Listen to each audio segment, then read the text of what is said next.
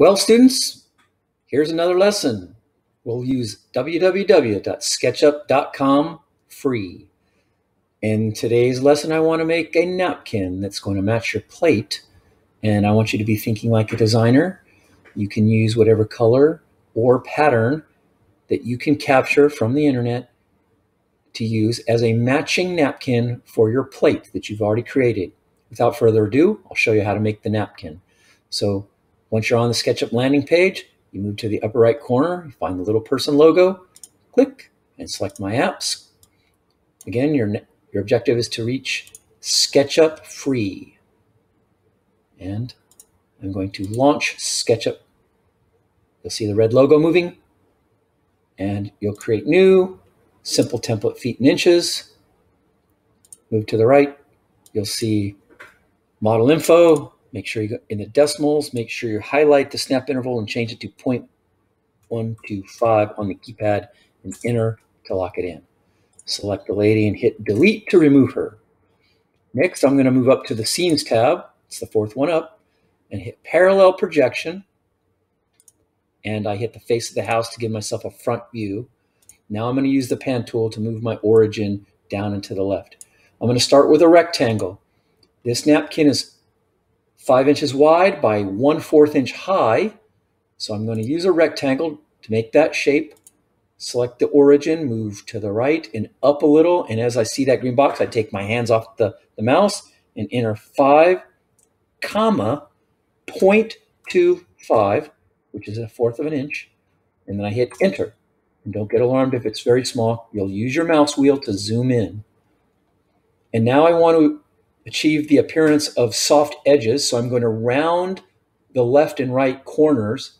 So I'm going to use a pencil tool to make my measurements real quick. And I go to the upper right corner, select the endpoint in the upper left corner, and then move down halfway. It's 0.125. You can see in the length measurement box down at the bottom right. And I click and then I'm going to return to that upper left corner, click again and move to the right along the top line there. And I see that the length is 0.125 and that's when I click a second time. So now I have two measuring lines that are, are uh, hidden there, but they're there for measurement. And now I'm going to use the arc tool. As you can see, it's the, it's the tool under the pencil and it's the second tool you want to use. Click, two point arc. I'm going to zoom in with my mouse wheel. You see my endpoint is there, and then I move up and I find the other endpoint, and then I push my arc until I find it turning to magenta. Once you get it to magenta, then click and lock it in. And it's a nice arc. Now I use the eraser tool. You see that little circle on the corner of the eraser? Put that on your line. And, well, it's not deleting. That's very fun. Wow, not delete. Hey, I got it to go. Well, that was a little bit of a glitch, but it did delete for me. Now I'm moving and I'm zooming in and I'm going to use my pencil again. Click on the endpoint on the right and halfway down, click. And then I'm going to move back up to the corner in the upper right, click, and move to the left a bit until I find 0.125 in length, click. Now I have two little measuring lines that are hidden there, but I'll return to the arc tool and I select one spot and two spot and look, it's magenta. So now I click and lock that arc in. Use my eraser tool to delete those little extra line segments that I don't want. And now I want to use the orbit tool to turn my profile and use the push-pull tool. I select the push-pull tool. It looks like a rectangular prism with an arrow on it. Click the profile and push. And then now that it's being pushed, I just enter 9 on the keypad and enter to make my napkin nine inches long. So again, it's five inches wide by one fourth inch high by nine inches long. The next step will be to insert, and I've already prepared a green decal that I want to use as the color for my napkin. So I use those three lines in the upper left to insert from my computer you see, I've saved it as napkin decal. Select and open and use image. Use the image button. And I'll place that decal right beside and stretch. I clicked it once and now I'm clicking it a second time. I want to make sure that decal is large enough to cover the entire napkin. I will look at it from top view at this point, and I believe it is about the right size. So now I'm going to look at it from front view. So I click the front view of the house, and I actually need to select. So I'm going to go back to top view. Select. Now I look at front view, and I can see, and I'll use the pan tool, see my image right there, highlighted in blue, and I use the move tool because what I want to do is click on that somewhere on that line segment and move it above and direct, directly above my napkin. And it appears that I'm in a good position. I may have to adjust it down a bit, just there. Now the entire decal is covering the entire napkin.